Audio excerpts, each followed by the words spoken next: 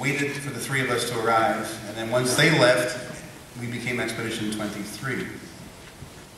And like all good space stories, you have to start with a rocket. Otherwise, it's just a story, but this is a space story. And so this is December 19th in Kazakhstan. And as you can imagine, in Kazakhstan, on the steppes, December 19th, it is extremely frigid and cold. And the family and friends that accompanied us there keep remarking just about how cold they were. As you can see, it's a multinational crew. We had a Japanese flight engineer, a Russian Soyuz commander, and me. And we go through this typical press release uh, interviews and stuff, and I get asked here, what am I going to miss most? And I ended up saying bubbly water. You can't, you can't have bubbles in space, you know? So, there's a tradition that on the day that you launch, you sign the door of the room that you were living in down in Kazakhstan.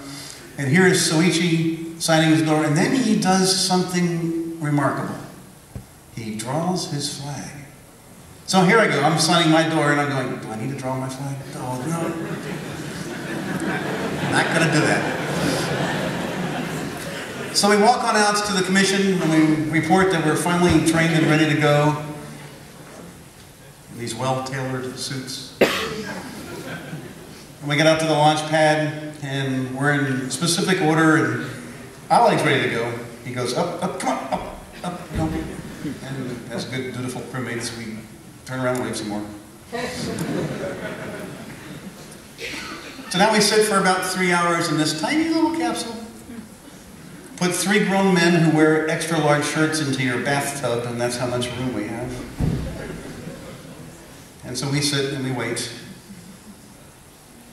And the, and the family members are outside standing and waiting and getting colder. This is December 21st.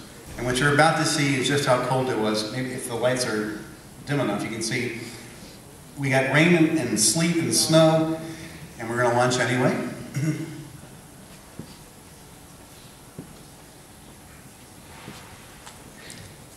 and when I ask my kids what they remember most about the visit to Russia and Kazakhstan, they both say that the lunch was spectacular, although it was really cold. So it takes us about two and a half days to, to race and track down the space station. And after the two and a half days in this tiny little vehicle, we approach the station, and Max and Jeff are on board taking these pictures. And then for the Soyuz, of course, we've got a primary and a backup system, and then, of course, a manual way to, to rendezvous. And for us, we were very fortunate. All the systems worked as advertised, and so we were able to sit there and, and monitor the approach.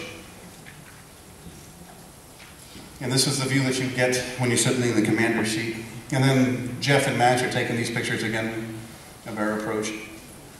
So not too bad when you consider it. Two and a half days later, we get to the point where we're accurate enough to be able to dock the space station. And this is real time. This is how slowly we come together for sure um, in, in reality. and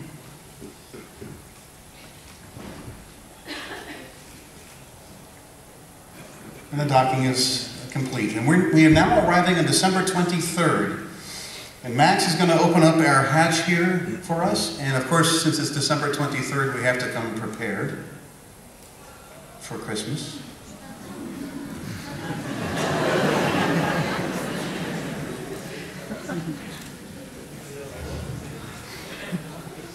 Here comes Santa Claus Soichi.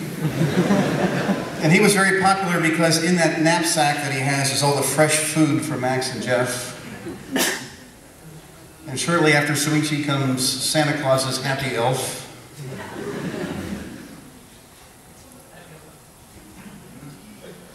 And almost immediately after arrival, the first thing we do is we end up having a press conference.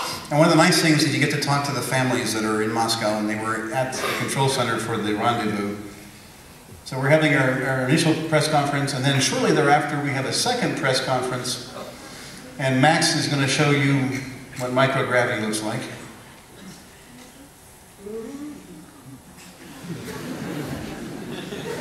And I think we should all go to work like this.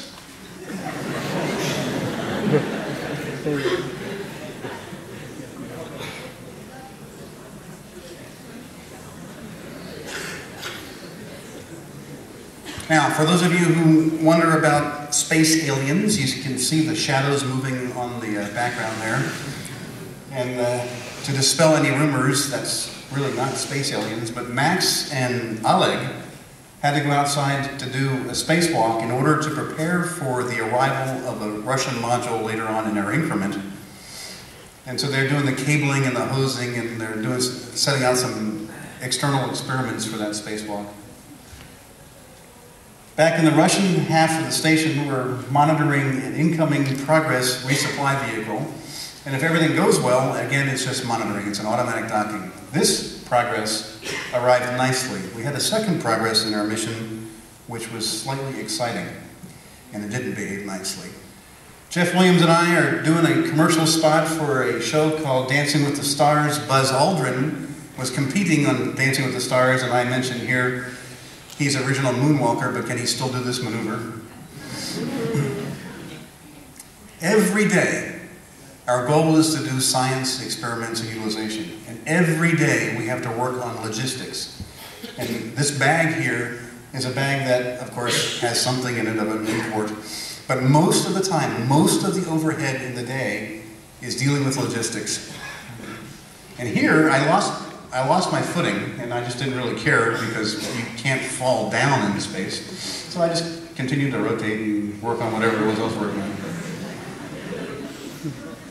Science experiments like how to better grow plants. Max was working on growing lettuce and wheat. This is not only for possible duration of missions that go farther away, like to Mars, but also how to improve what's being grown here on Earth as well. Soichi is practicing his zero G swimming because later we have to do synchronized swimming.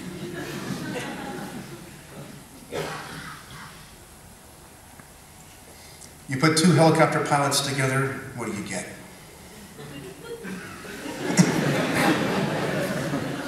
we're doing what's called Saturday Morning Science, and we're doing a bit of an outreach to schools and talking about conservation of angular momentum, and this is the familiar ice skating problem done with a zero G twist.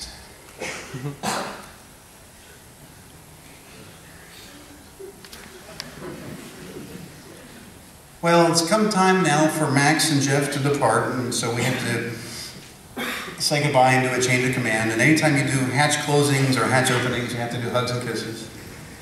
And it's because of this video that I finally understood why I found my camera in the next module over.